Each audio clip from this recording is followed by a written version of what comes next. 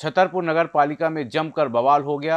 Operator ने गल्ला पर्ची लेने पहुँची महिला को गलत बोलकर उसे डांट दिया, जिसके बाद देखते ही देखते विवाद बढ़ता गया और आपस में छीना छपटी होने लगी।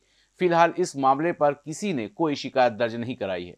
छतरपुर नगर पालिका में उस समय बवाल हो गया, जब पार्षद पूजा शिवहरे के पति और नगर पालिका में पदस्थ ऑपरेटर के बीच विवाद हो गया। दरअसल पार्षद पति ने ऑपरेटर से गरीब महिला की गल्ला पर्ची निकलवाने के लिए कहा। जिस पर ऑपरेटर ने महिला को गलत बोलकर उसे डांट दिया, जिसे लेकर दोनों के बीच विवाद होने लगा।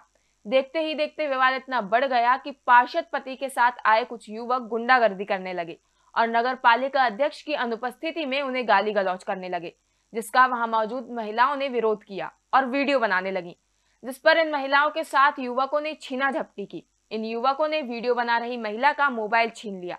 फ़िलहाल इस मामले में किसी ने रिपोर्ट दर्ज नहीं करवाई है। और नगर पालिका अध्यक्ष में पिंकी के साथ आ रही थी। तो नगर पालिका में नगर पालिका अध्यक्ष को कुछ लोग गाली बक रहे थे। है ना? बहुत गंदी गंदी गाली रहे थे तो उसका वीडियो हम बनाने लगे।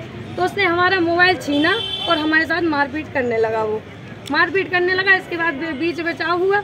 और इसके बाद वो भाग गया यहाँ से। थे तो वहाँ कुछ लोग गाली बक रहे थे यहाँ पे किसी को। तो दीदी वीडियो बनाई तो उन्होंने वीडियो मतलब फ़ोन छीनना छीन लिया था और बस लड़ाई करने लगे वो खबरें जो आपके काम की है वो खबरें जो आपके लिए ज़रूरी है। हर आम और खास से जुड़े मसले। हर मसले का सटीक विश्लेषण। हम करते हैं सत्य का अन्वेषण।